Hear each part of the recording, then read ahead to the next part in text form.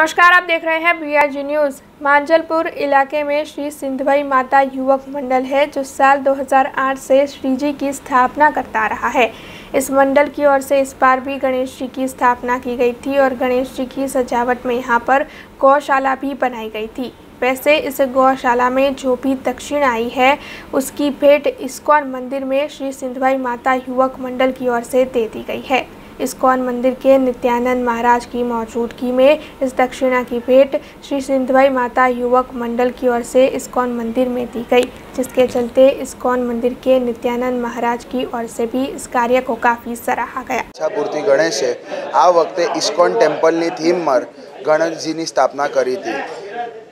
એના ખાતે અમે લોકોએ એક ગૌશાળા બી મૂકી હતી